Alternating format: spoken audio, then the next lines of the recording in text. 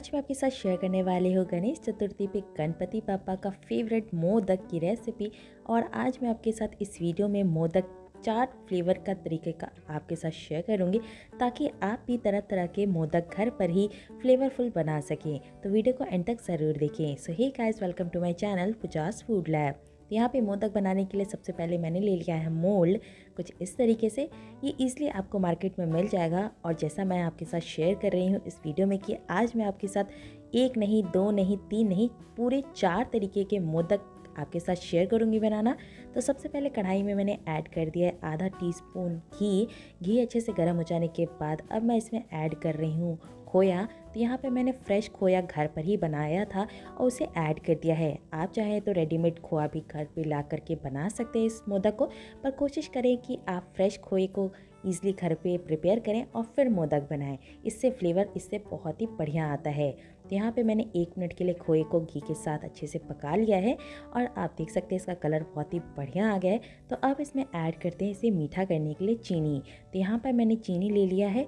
आप अपने टेस्ट के अकॉर्डिंग चीनी कम या ज़्यादा ऐड कर लें, पर यहाँ पर मैंने 200 ग्राम खोआ के लिए ऐड किया है तीन बड़े चम्मच चीनी के। तो आप अपने टेस्ट के अकॉर्डिंग ऐड कर दें। और यहाँ पे मैंने खोया में जब चीनी ऐड किया है तो गैस का फ्लेम मैंने लो से मीडियम रखा है, ताकि खोया बिल्कुल भी जले नहीं और जो चीनी है वो पूरी तरीके से मेल्ट हो जाए। तो चीनी के पिघलने तक का वेट करेंगे लगातार चलाते हुए। जब चीनी अच्छे से पक जाएगी, तब मैं आपको दिखाऊँगी कि इसकी कंसिस्टेंसी किस तरीके से होनी चाहिए। तो जब चीनी पिघलना शुरू होती है तो कुछ इस तरीके से आप देख सकते हैं, ये पूरी खोए को एब्जॉर्व कर लेती है और गीला गीला टेक्सचर हो जाता है। तीन स्टेज पे खोया का जो चीनी के साथ पकता है, पहले वो मेल्ट होता है, फिर वो गीला सा टेक्सचर हो जाता है और फिर ये कंबाइंड होकर के एक अच्छा सा ये खोया और चीनी बन करके रेडी होता है। तो कुछ इस तरीके से अभी ये मिक्स हो गया है। तो ऐसे एक से दो मिनट के लिए पका लेते हैं, लगातार चलाते हुए। तो आप देख सकते हैं कि ये इकट्ठा होना शुरू हो गया है। तो इस तरीके से आप लगातार चलाते हुए एक से दो मिनट और पका लें। जब आप देखेंगे कि कढ़ाई को खोया ने अच्छे से छोड़ना शुरू कर दिया है कुछ इस तरीके से, तब तक आपको इसको पका लेना है।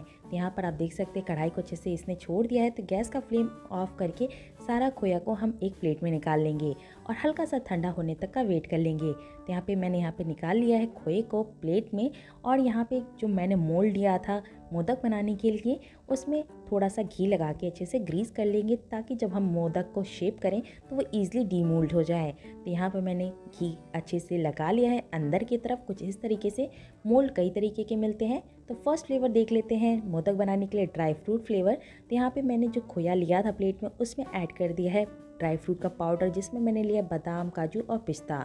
साथ ही ऐड कर दिया है कोकोनट पाउडर एक टेबल स्पून और फ्लेवरफुल बनाने के लिए मैंने ऐड किया थोड़ा सा इलायची का पाउडर बस ये सारे इंग्रेडिएंट्स हम ऐड करके अच्छे से मिक्स कर लेंगे हाथों से ताकि एक अच्छा सा फ्लेवर आ जाए। तो पहला मैं आपके साथ मोदक शेयर कर रही हूँ ड्राई फ्रूट वाला। ये बहुत ही इजी है, बनाना बहुत ही टेस्टी बनता है ये मोदक और बनाना भी काफ़ी इजी है। तो यहाँ पे जो खोया है वो हल्का सा गर्म है तो इसे फटाफट इसे शेप कर लेते हैं। तो बस इस तरीके से जैसे मैं आपके साथ वीडियो में शेयर कर रही हूँ, बस मोल्ड में इसे फिल कर लें बस कुछ ही सेकंड में आपका जो मोदक है वो ईजिली बन करके रेडी हो जाएगा। तो मैं आपको यहाँ पे दिखा रही हूँ। ओपन करके कितना प्यारा सा ये मोदक बन करके हमारा फटाफट ये रेडी हो गया तो बस इस तरीके से आप सारे मोदक बना लें। चलते हैं नेक्स्ट फ्लेवर की तरफ़। तो नेक्स्ट फ्लेवर मैं आपके साथ शेयर कर रही हूँ टूटी फूटी के मोदक आप कैसे बनाएँ। तो यहाँ पे वापस से ले लिया है मैंने थोड़ा सा खोया और उसमें ऐड कर दिया है टूटी फूटी तो इसे भी अच्छे से मिक्स कर लेते हैं। टूटी फूटी आप कम या ज़्यादा ऐड करें जैसा आपको पसंद हो। तो इसे मैंने अच्छे से मिक्स कर लिया है। आप देख सकते हैं कितना कलरफुल ये दिख रहा है।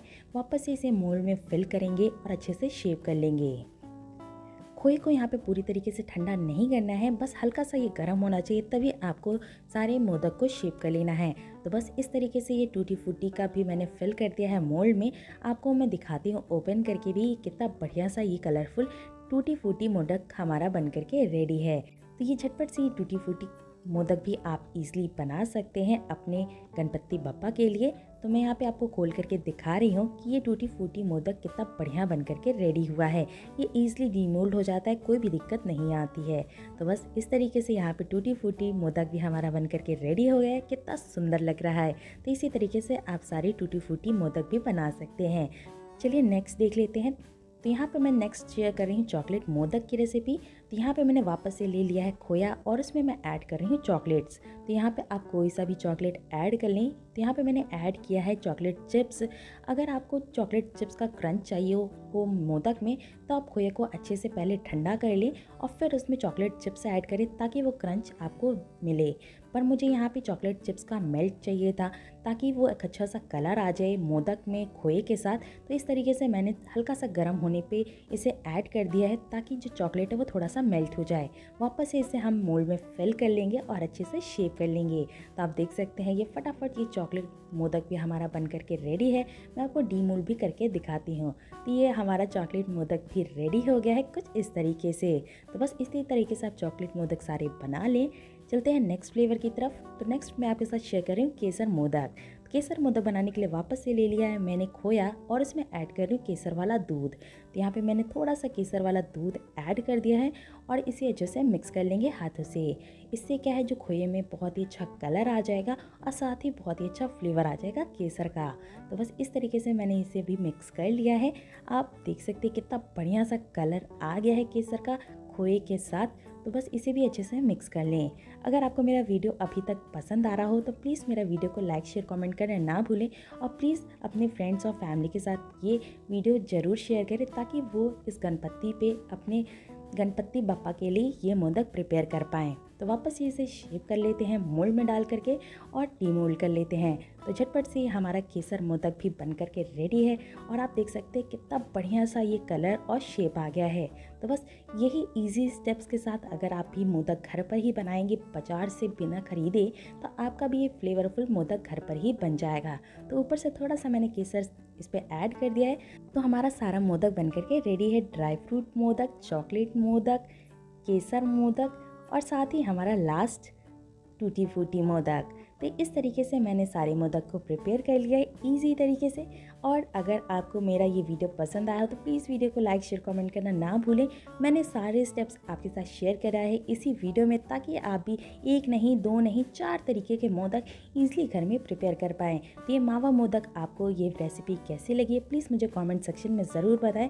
झटपट से ये रेसिपी बन जाती है। थर्टी मिनट्स के अंदर मैं आपको मिलती हूँ नेक्स्ट वीडियो में नई रेसिपी के साथ। तब तक के लिए बाय बाय और अपना ध्यान रखिए।